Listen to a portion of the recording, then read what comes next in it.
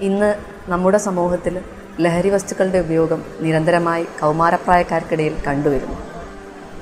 കൃത്യമായും പുകയില വസ്തുക്കളിൽ തുടങ്ങുകയും അതിതീവ്രമായ ലഹരി വസ്തുക്കളിലേക്ക് എത്തുകയും ചെയ്യുന്ന ഒരു സിറ്റുവേഷനാണ് ഇന്ന് കുട്ടികൾക്കിടയിൽ കണ്ടുവരുന്നത്.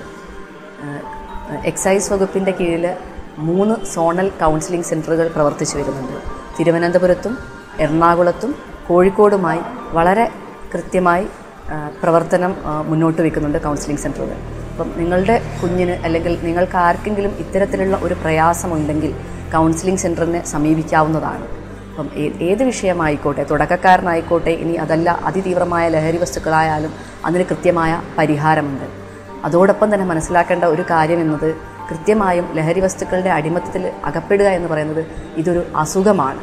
കൃത്യമായും നമ്മളുടെ ബ്രെയിനിനെ ബാധിക്കുന്ന ഒരു അസുഖം കൂടിയാണ്. അതുകൊണ്ട് തന്നെ അത് ചികിത്സിച്ച് ഭേദമാക്കേണ്ടത് അത്യാവശ്യമാണ്. അപ്പം എത്ര നേരത്തെ നിങ്ങളുടെ കുട്ടിയിൽ ഇത് കണ്ടെത്തുമോ അത്രയും പെട്ടെന്ന് തന്നെ ചികിത്സയ്ക്ക് വിധേയമാക്കുക ചികിത്സയ്ക്ക് വിധേയമാക്കി ചികിത്സ തേടുക പൂർണമായ മുക്തിയിലേക്ക് എത്തുക. ഇന്ന് ഞങ്ങളുടെ മൂന്ന് കൗൺസിലിംഗ് സെന്ററുകളുടെ കേസുകൾ വിശകലനം ചെയ്യുമ്പോൾ കാണുന്ന ഒരു പ്രത്യേകത എന്ന് പറയുന്നത് പന്ത്രണ്ട് വയസ്സ് മുതലുള്ള കുട്ടികളിൽ ലഹരി വസ്തുക്കളുടെ ഉപയോഗം കണ്ടുവരുന്നു എന്നുള്ളതാണ്. അപ്പോൾ പന്ത്രണ്ട് എന്ന് പറഞ്ഞാൽ നമുക്കറിയാം കഴിഞ്ഞ പത്ത് വർഷത്തെ കേസുകളുടെ എണ്ണം നോക്കുമ്പോഴത്തേക്ക് ഒരു പതിനഞ്ച് വയസ്സ് പതിനാറ് വയസ്സ് എന്നുള്ളതായിരുന്നു തുടക്കമെങ്കിൽ അത് പാടെ കുറഞ്ഞു പോയിരിക്കുന്നു എന്നുള്ളതാണ്.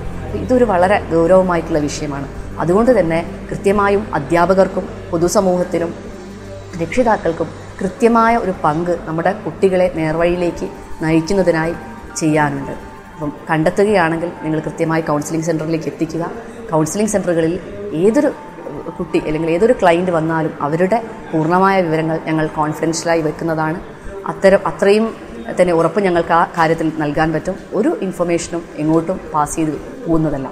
അതുകൊണ്ട് ചികിത്സയ്ക്ക് യാതൊരു വിധത്തിലുള്ള മടിയും വിചാരിക്കേണ്ട ആവശ്യമില്ല. ഈവൻ പെൺകുട്ടികൾ പോലെ പോലും കൗൺസിലിംഗ് സെന്ററിൽ ഇപ്പോൾ റിപ്പോർട്ട് ചെയ്യപ്പെടുന്നുണ്ട്. വളരെ ദുർലഭമായ പെൺകുട്ടികൾ വരുന്നുള്ളൂ. എന്നാൽ പോലും അത് ശ്രദ്ധിക്കേണ്ട ഒരു വിഷയമാണ്. അപ്പോൾ ഇത്തരത്തിൽ ഏത് തരത്തിലുള്ള വിഷയമാണെങ്കിലും നിങ്ങൾ ചികിത്സയ്ക്കായി സമീപിക്കുക ചികിത്സ തേടുക എന്നുള്ളത് തന്നെയാണ് ഇതിനുള്ള പോംവഴി. നാളേക്ക് നല്ലതിന് ലഹരിയോട് നോ പറയാം.